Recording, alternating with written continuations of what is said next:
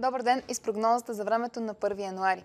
До края на деня и през нощта над по-голямата част от страната ще остане облачно, а на места в Тракия и по поречието на река Дунав ще е мъгливо, така че шофирайте с повишено внимание.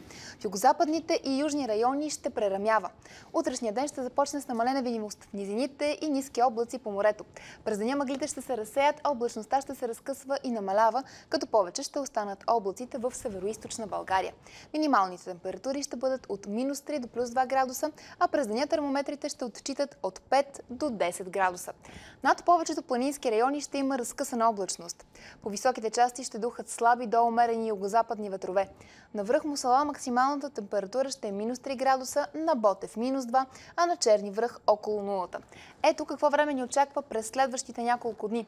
В петък и в събота в сутрешните часове отново ще е мъгливо. Повече ще бъдат облаците над източните райони. След обед ще е предимно слънчево.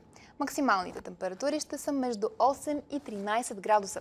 В събота след обед от югозапад облачността ще се увеличава, а в планините ще задуха силен южен вятър и в неделя и в понеделник времето ще е ветровито с разкъсана облачност.